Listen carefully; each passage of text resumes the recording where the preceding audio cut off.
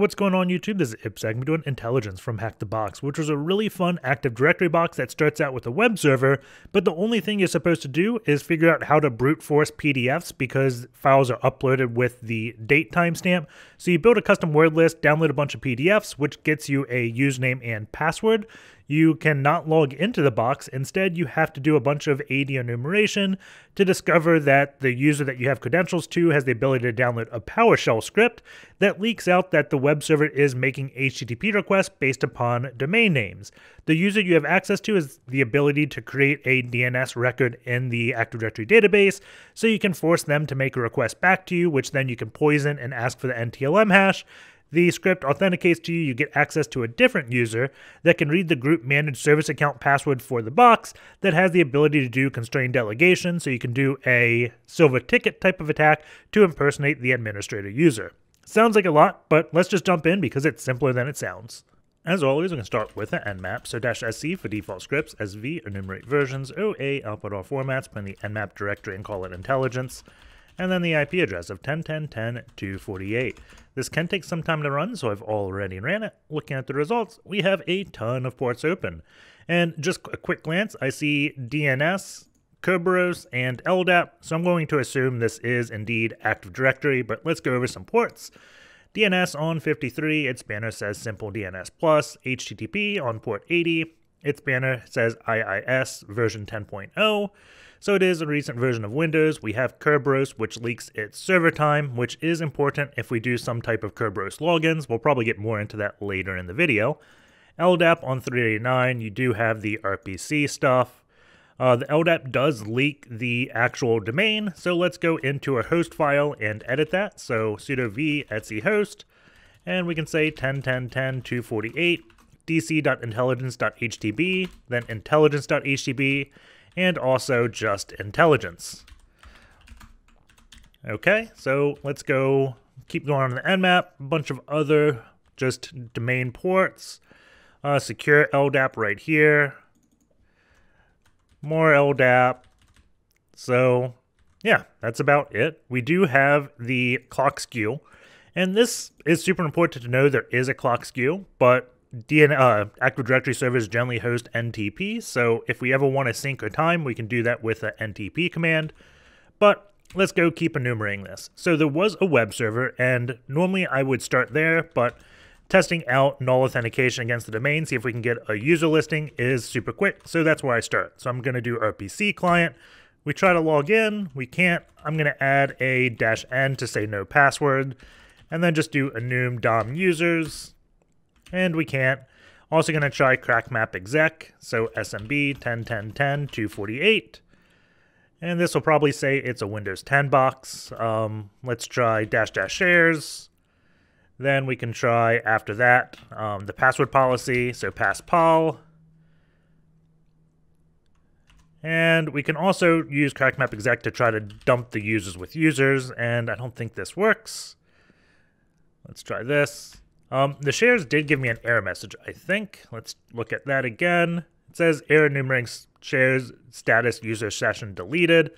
I'm just going to add um, null for user and password, and then I'm going to remove the password because I think CrackMap exec um, behaves differently based upon how you do those things. I'm not sure if it's changed, but yeah. So I think if we don't specify the password, it's like not specifying the user, but you can see there's definitely a difference when you specify user and password versus um, nothing.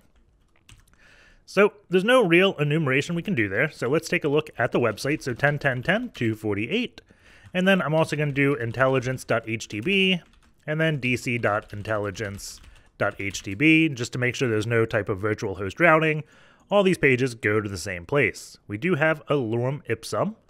Uh, email address, if I hit subscribe, let's do at test.com. Also, when we do this, open up a developer tools. We could do Burp Suite as well, but developer tools is just as good if we want to check this. And we're not doing any post request and looking at all the gets, it doesn't look like we actually sent data with that. So I'm going to ignore that. We have an announcement document, and then we also have other document. And that's about it. We do have a potential username of contact. But yeah, So looking at these uploads, um, it looks like it's just date-upload.pdf. So what I'm going to try to do is access the root to see if there's other documents here.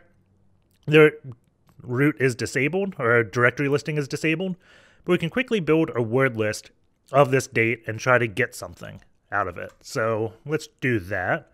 I'm going to do use the date command. If I do um, just date, we can see what it is. If I specify date equals and say one day ago, we have that. And then you can do plus and change like the format. So um, percent %y is just going to output the year. So year, month, day, dash upload.pdf. And that looks good. So the next thing we have to do is probably do all 2020 things. So let's try 300 days ago to see where this is. The 30th, let's add 30 days.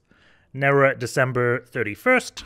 So we can do for i in sequence 330 and we want to add 365 to that, so 395 do and change this to be the variable. And this is going to be numbers 330 to 395 and then say done. And we've quickly built a list, but I am off. Let's see, because that's stopping 2020 1027. Actually, I went. What? Let's see. 2020 1231. Oh, shoot. well, that's embarrassing. Um, 695 screwed up my addition a little bit. Forgot about the hundreds, but there we go. So we can do this to, um, I guess I can call this files. And then the other thing I want to do is I'm going to use curl. I could also use wget. Um, let's really, let's just use wget. So make dir PDF. And the whole like internal debate between curl and wget, we can show this real quick. So if I just do curl-o test.pdf, I'm going to do wget on the same thing. I'm going to run exiftool on both of those. So 2020, we can see the file modification date. And if I look at the curl exif tool, uh, what is it, um, test, we can see it kept that timestamp. It did not obey that timestamp. If you do use curl and you specify the dash capital R flag, we can look at that again. And now it did preserve the timestamp. Also, it set it to access. Um, not really important there, but I'm going to default to wget because wget by default will keep the same file name. So let's do that date command again. Uh, actually, we have files. So cat dot dot slash files. There we go. So I can do for i in this do, if I echo i, done. It's just going to echo all those. So HTTP 10.10.10 248 slash, is it documents? Yep, document slash i. So now it's going to output all those, and we just wget. Uh, not found. Oh, it's getting a lot of not founds because some of those files don't exist. So let's look at PDF, do we start having some files? We do have some files. So it looks like there's a bunch in November. So I'm going to take a look at some of these PDFs real quick, just look at what the metadata is.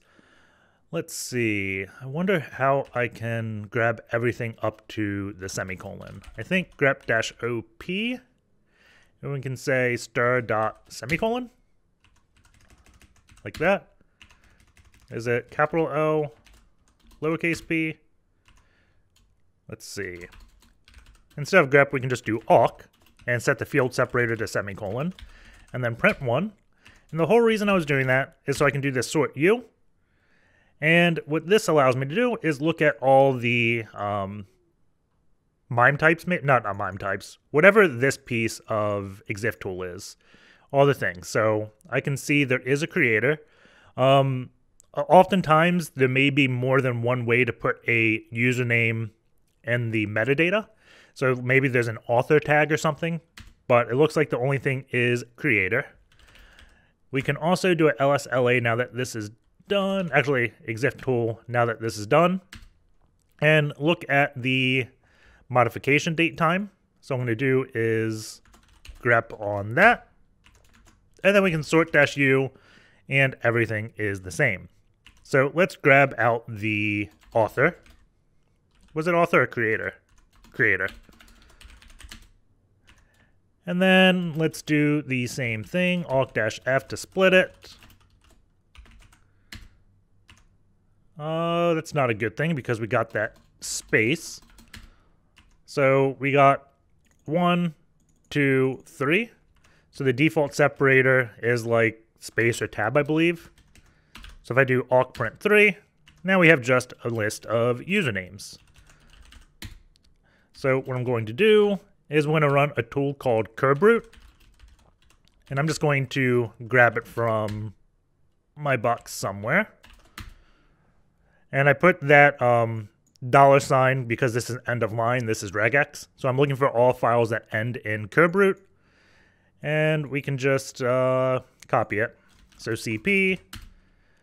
And if you don't know what tool I'm using, just go to GitHub curbrute. And it is right here. So let's do dot slash curbrute. And we can do user enum dc 10.10.10.248 dash domain intelligence.hdb and look at users. 84, wow. Uh, doing a WC, it looks like every single user is valid. So I'm just going to um, verify what I did was correct by creating a test file with a user that doesn't exist to make sure it didn't say this one was valid because um, we want to make sure we aren't getting like a false positive. So everything in that user list is good. Uh, what we should do now is set up some type of recon in the background. So I'm going to do password spray. And then we can say um, users. And what is this? So we can say like everything was in April 2020. So I'm going to say winter 2020 bang. And we can let this run while we look at other things. That was quick. Um, could also do summer 2020 bang. The reason why I always do the bang is because it's like the most common last character of a password, and Windows complexity generally requires you to do a symbol. So just like winter 2020 probably wouldn't be a compliant password. But what I want to do is grab all these PDFs and read them. So I'm going to do PDF to text. And if you don't have this, I think it's just in the apt repo. But we can do star.pdf. And that did not work. Uh, we can do for i in ls do pdf to text i done. Sweet. Now we have a list of all texts. So I can cat star.text and then we can grep dash i on like password and we have a hit. So we can do like dash B5 dash A5 to get before and after five lines. And we have the password here.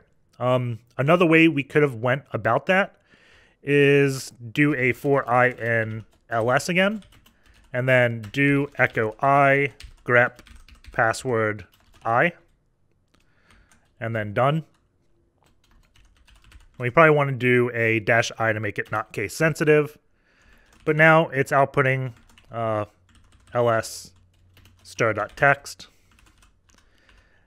And we can see this file exists in this, June 4th. So if I less that, we can get the whole file there. But we do have new Intelligence Corp user 9876. And oddly enough, it doesn't have a special character in it. So maybe I was wrong about that. Um, we have valid login with error. And the error is clock skew is too great because we are doing some type of Kerberos login. We could make this go away using the NTP command, but I think that's going to be an issue later on in the video, so I want to put it uh, that section right next to that.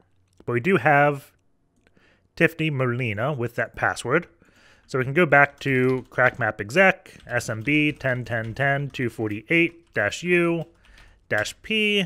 We can grab this password again and see what we have access to. So SMB, nothing. Let's try WinRM. And we're probably going to get nothing here as well. We can do uh, SMB and then add dash dash shares. And we could also run Bloodhound. So we'll probably do that in a minute. But we do have a list of all the shares. We could manually enumerate this, but that could take some time.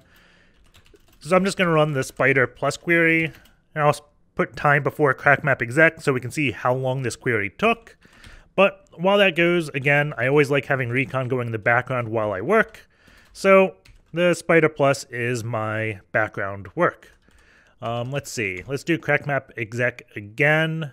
And I'm going to do SMB 101010 248 U, Tiffany Melina dash P, put this, and we can say dash dash pass pol to get the password policy because I want to see if um, it's forcing special characters.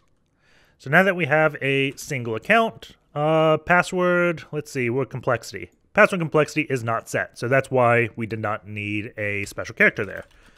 Um, the next thing I want to do is Let's go to Python Bloodhound. Um, it's probably in my opt, right?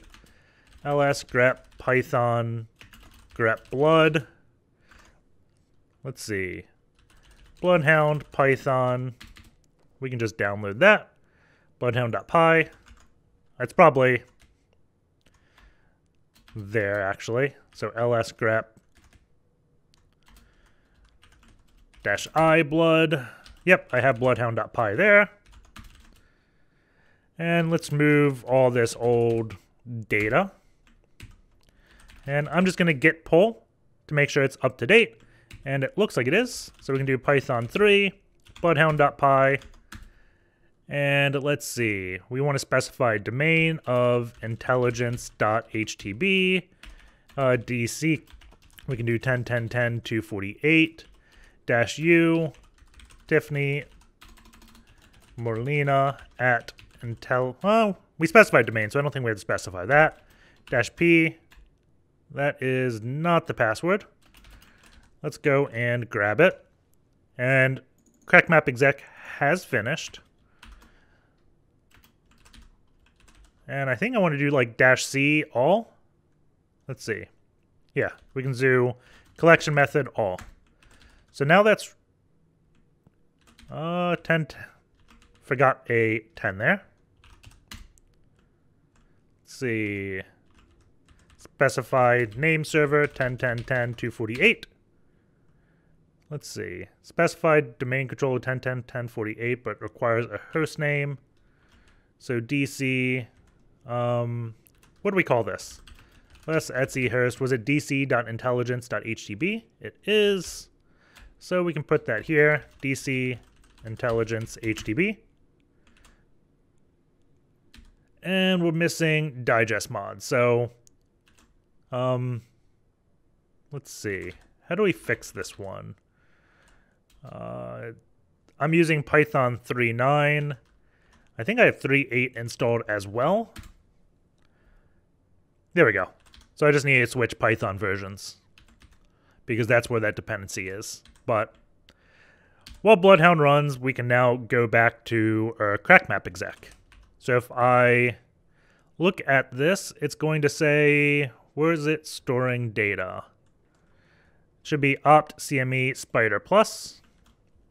So if I cat this, we have a list of all the files. Since it is JSON data, we can parse it in JQ.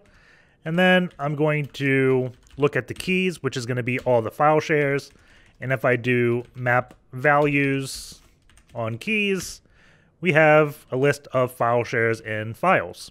So it looks like we have access to um, user.txt. So we could get the user. There is some PowerShell files here. I'm just glancing over. These are LNK. I'm not really interested in LNK files right now, so I'm going to grep-v LNK. And let's see, what else is there? BLF, INI, those aren't really interesting. The only PowerShell file that would be interesting is like a script or a log file. Like if I had the console script logging, that would be really good. Uh, we have sysvol. This is just group policy stuff. It's relatively empty, so there's no real group policy. In the IT folder, there is downdetector.ps1. So that's the, really the only thing. So let's go and download that. Um, I'm just going to use SMB client. I know we could use CrackMap exec to download it, but I don't know the syntax off the top of my head to do that. But I do know SMB clients, so that's why I'm just going to default to that. Doesn't really matter what tool you use as long as you use a tool that works. So let's see, slash IT, put the password in, and I didn't have to specify the domain because this is a domain controller. Um, typically, you would probably have to like um, do intelligence like that and specify the domain to log in. But domain controllers, you don't need to know the domain. Uh, let's get down detector.ps1. File has been downloaded. We also have Bloodhound done. Um, this is weird. A DNS timeout there. We could probably edit a host file and point this host name to the actual DC, but you shouldn't have to do that. Um, I'm going to do ns lookup in 10.10.10.248. Uh, actually, ns lookup and then set server 10.10.10.248. And paste in this. Actually, server 10, whoops, 10.10.10.248. Paste, get rid of that semicolon. It doesn't look like that domain exists, or that host exists on the box. Um, I'm guessing this is like a client, and for some reason the workstation left the domain so it no longer exists. Um, let's see. Let's just look at down detector first and see what we have. So we're importing Active Directory, and it's going to go in the DNS I'm going to take all the object names that start with web and attempt to download it using default credentials and then send a message from Ted Graves to Ted Graves saying the record is down.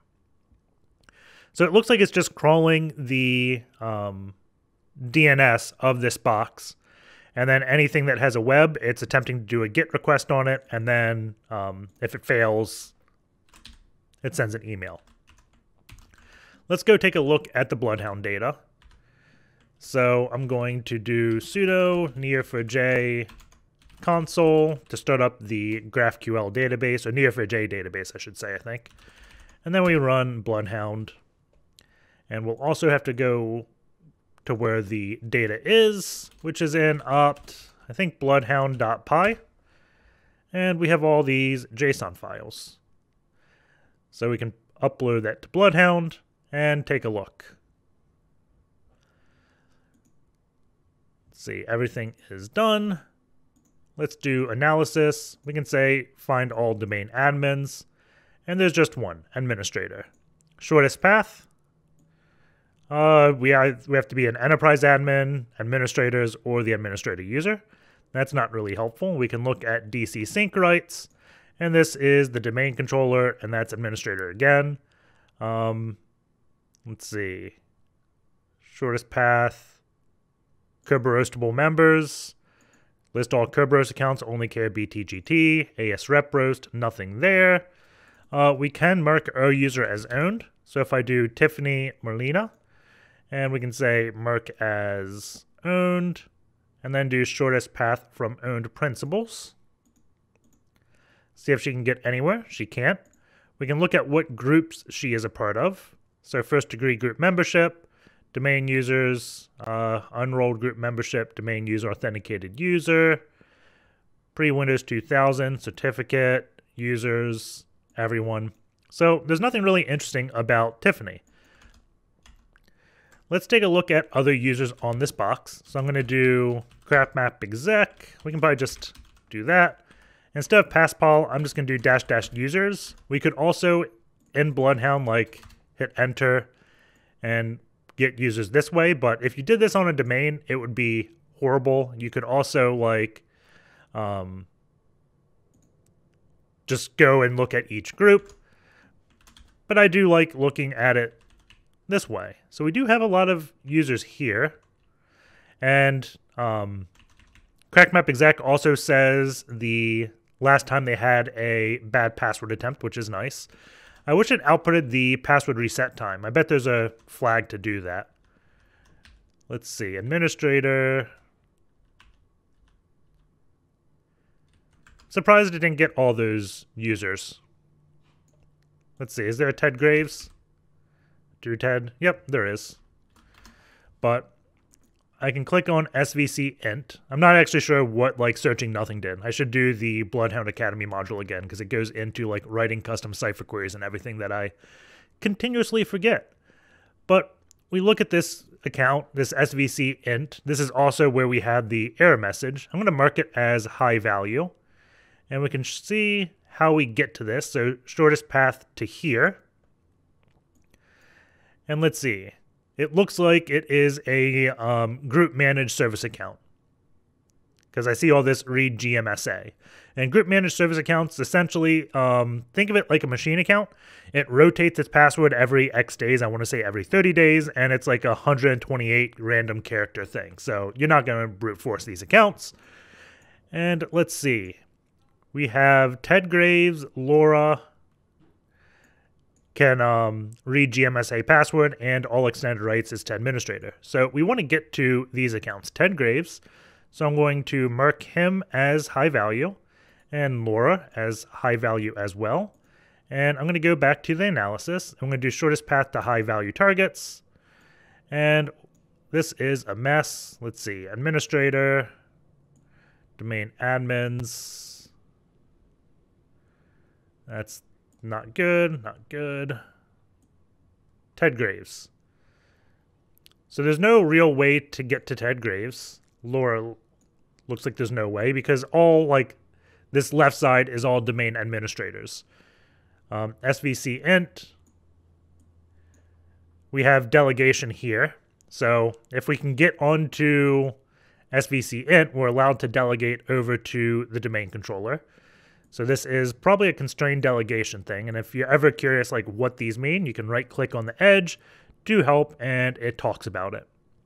But we're not that far yet. So um, let's go back to that down detector.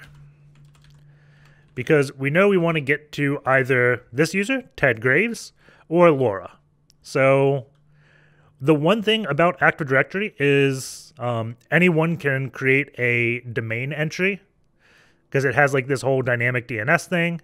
Um, you can harden it so users can't, but typically, like when you get a DHCP request, um, the machine goes and updates the um, Active Directory to create like the reverse lookup and everything, so you have a domain name. Uh, we can do that as a user potentially using a tool called DNS tool. And do I have this? No, this is not it. Um, it's out of um, Relay X, which I don't think I've have on this machine because we haven't really done any relay attacks or anything. But um, let's do Caribou Relay X, and we can specify GitHub as well. And clone this. Is there a good way to download this? Does he have install instructions? Nope. So let's just download. So git clone, go in here, then we have DNS tool, so Python 3.8, DNS tool dash H, and gives the help. I just do DNS tool, we have everything we need. So dash U, we want to specify intelligence slash Tiffany Molina, and put this in single quotes because we have a backslash, which is a special character. Dash P, uh, let's grab the password here. Then the next thing we need is, um, let's see, R for target record. Let's do web um, ipsec.intelligence.htb. Dash A for action. We want to add the type. Let's do an A record. Uh, the dash D for record data. We're going to point it to ourselves at 10, 10, 14, 8. And then the host name of the box we want it on is 1010.248. So let's try this to see exactly what happens. Binding to host, and we have added it. So what I'm going to do is also do NC LVNP 80 and see if it connects back to me. And then if it gets connects back to me, we know the down detector is running on some type of script, which means um, we may be able to use responder or something to steal a hash. I'm just right now viewing it to make sure it would be indeed on port 80 and looks like it is. And use default credentials, so it should use the credentials of whoever is running the script. So yeah, now it's just a waiting game to see exactly how it connects to us. Or if it does. And we do have it connect back to us. Um, the host is set to Web 9001 because when I was doing this box before recording, that is what I had set it to. But if I um, go ns lookup, server 10.10.10.248, and I say web ipsec.intelligence.htb, it also points back to me. Uh, web 9001 intelligence.htb does as well. And if I did like 9000, this is not one I tested with, we see it doesn't go back to me. So now we just need to run Python. So I can do Python, or not Python, we need to run responder. So responder dash i ton zero. And oh man, I'm always having these issues with this. Let's see, user share responder. Can I do Python 3.8 here? sudo python 3.8 uh, responder.py No option DCE RPC. Let's see.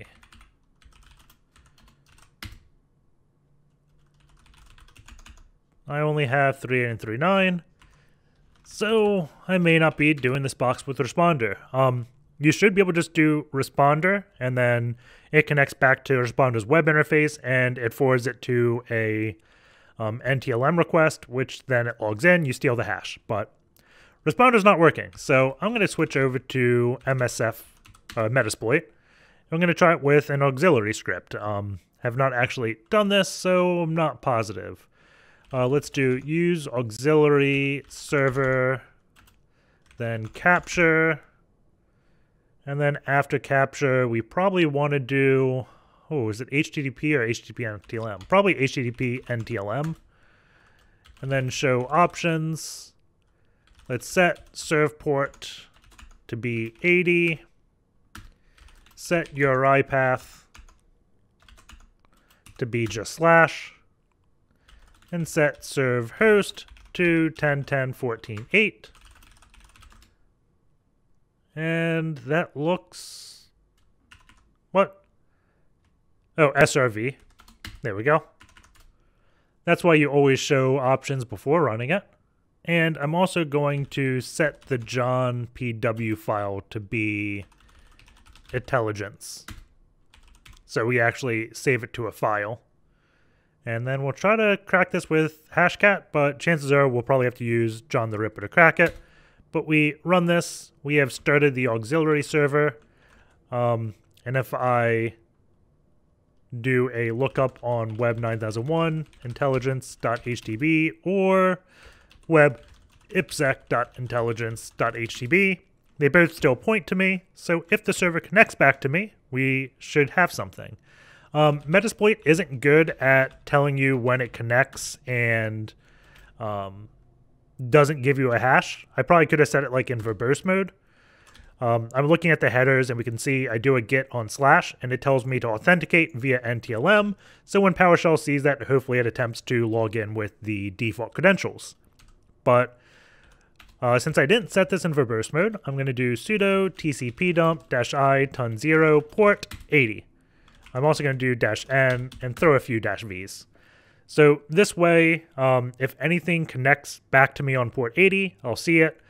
And that means if this fails for whatever reason, I'll know. So I'm going to pause the video and we'll just wait for it to connect, which could be a few minutes. And looks like we have a hit. So we captured a credential from Ted Graves. We have this NT hash. Is this NTLM? Let's see. Let's copy um, echo dash n wc dash c 32. I really don't think that's an NTLM hash. I didn't think we'd be able to get that. Well, maybe we could. Um, the way we can validate that is crackmap exec. So smb dash u ted graves. Uh, let's see, is it dash h for hash? Probably dash capital H, right? H. Let's see. Uh, we did not specify an IP. 10.10.10.248. Let's see what happens. So, yeah, it did not, because it's an NTLM v2 hash, so you need to use this client. Uh, let's see. Yeah, it says it right here. Um, it's been a while since I've used Metasploit to do this, but glad to know it still works. If I look at ls here, what do we call it? En intelligence NTLM. So we have the captcha file right here. And maybe this will work with Hashcat. Uh, that's a blank hash. Let's cat this one. There we go. So let's see. Yeah, this is valid. Um, I'm going to go into the Kraken, which I don't have right now running. I thought I would have it up. Um, shoot. I guess let's just crack this with John. So, John, let's see. Specify this. And then word list is equal to user share. Uh, let's see. ls user share word list rocku.txt. And we'll see how long this takes. Hopefully not too long. It's got two passwords in it, and it's attempting to crack, and it looks like it did. Uh, I think the password is Mr.Teddy. I'm going to do dash dash show real quick to see what it is. And indeed, the password is Mr.Teddy. So let's go back to that crack map. And we can do dash P, put that as the password, and boom, we have that credential. However, it doesn't let us log in on the server, but when we looked at um, this, let's see, where is Ted? Is this one Ted? Yeah. I'm trying to make this graph pretty. Let's just do right click, shortest path to here to this account. We can see Ted has read GMSA password because he's an IT support to this account, which is allowed to delegate. So if I do help on this, let's see, abuse info. Uh, let's see, is this a, oh, this is an executable. Um, I want to say there's a uh, Python option now. Let's do read GMSA password um, Python GitHub. Let's see. GMSA dumper. Python 3, user pass domain. Let's try this. Probably have to use Python 3.8 again, but that's not a problem. So git clone, go in here, Python 3.8, let's see, dash u, intelligence, Ted Graves, put that in single quotes, dash p, Mr. Teddy, uh, dash d, intelligence.hdb. See, NTLM needs domain slash user and a password. I thought I did that. Dash U dash P. Let's do dash L as well. 10, 10, 10, 248. Let's see. U P D L.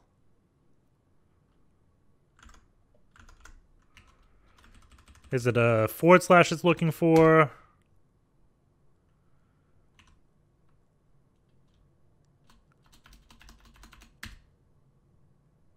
See, we're getting an LDAP bind error now. Let's see, authentication NTLM. Is this actually expecting an NTLM hash to authenticate?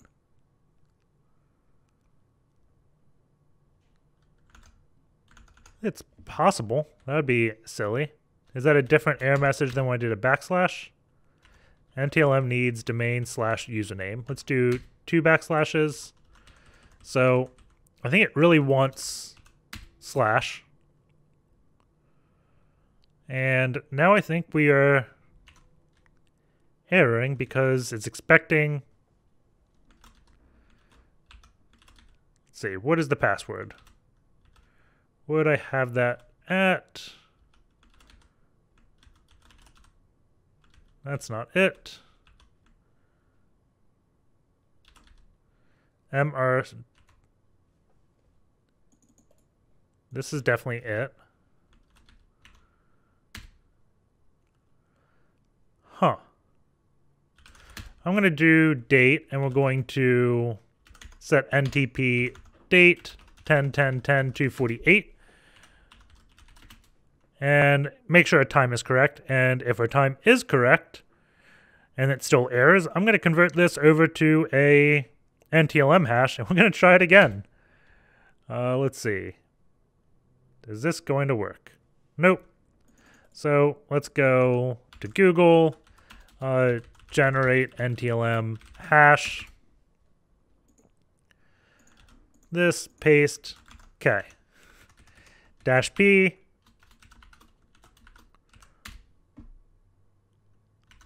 still airing out. So that was not it.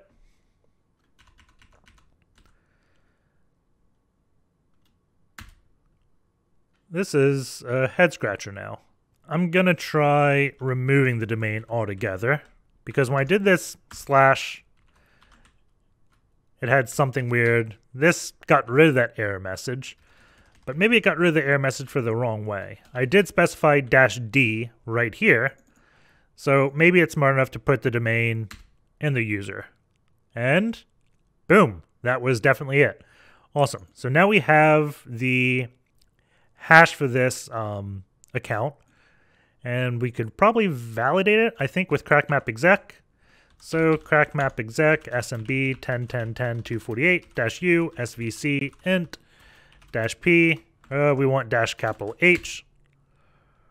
And whenever it ends with a um, dollar sign, that means it's either a machine account or a managed service account.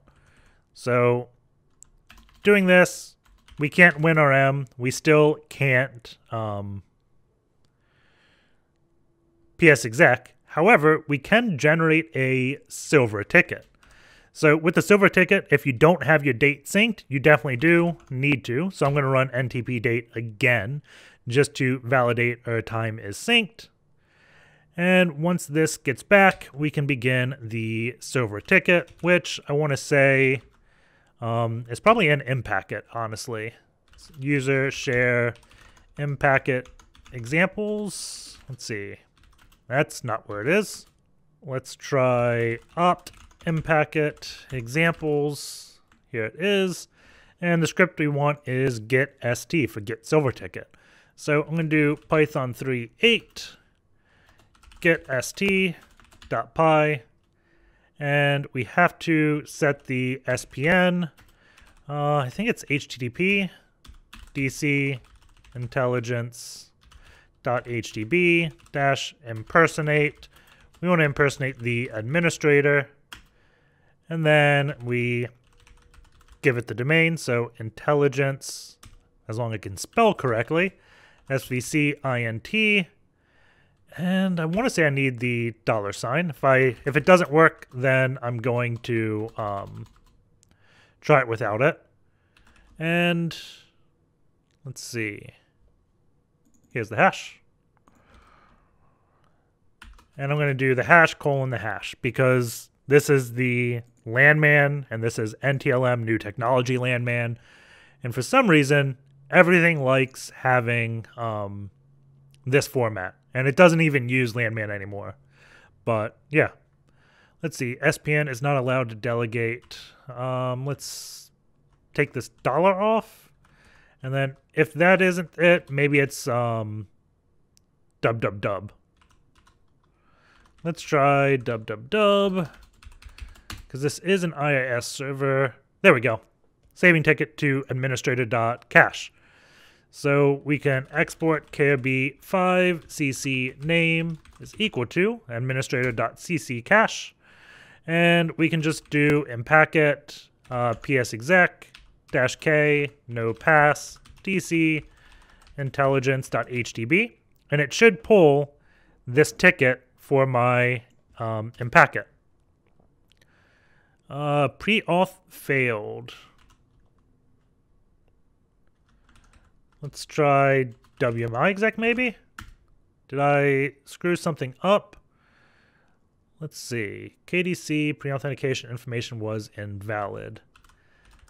Let's set the date again. Maybe for some reason, like my VMware tools sync the clock back and my time wasn't in sync. No, I was within a second.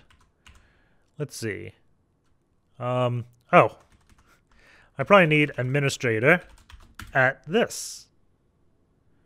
KDC pre-auth failed. Pre-authentication information was invalid. This is not going to plan. uh, 10, 10, 10, for, uh, 10, 10, yeah, 10, 248. Administrator. Let's try this silver ticket again.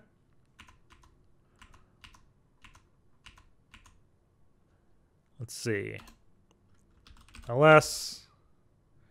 Let's move this into my home directory. I don't think that matters.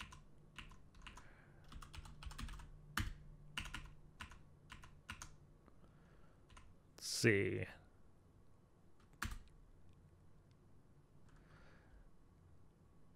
No. If I get rid of all these, it's going to ask me for a password, right? It does.